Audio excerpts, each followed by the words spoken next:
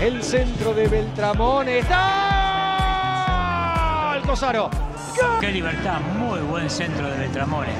Aparece por detrás de Erquiaga, fíjate, le gana claramente, era el hombre que lo estaba tomando, el que más cerca estaba del autor del tanto, Cosaro. Segundo central con personalidad.